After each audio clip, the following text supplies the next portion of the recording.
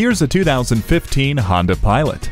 Fold the second and third row seats to create as many different configurations as you need.